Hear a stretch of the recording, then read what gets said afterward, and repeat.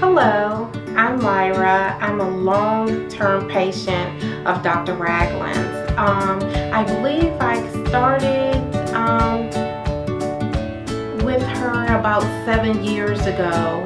Um, I was her first patient in the Washington metropolitan area uh, here in Silver Spring, Maryland. She is great. I mean, my feet were really jacked up.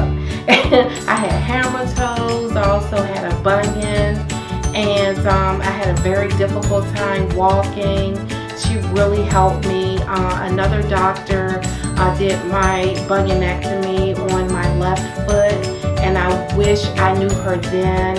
Um, she does a great work. She hides her incisions, and you're not able to really see the scars at all and it just heals perfectly and your feet just um, come out great so she is wonderful and I recommend her to anyone and everyone she's a great surgeon um, she really listens to you um, if you have any concerns if you have any questions she's there to answer all your questions she makes you feel very very comfortable and so you must go to Dr. Ragland. She's wonderful.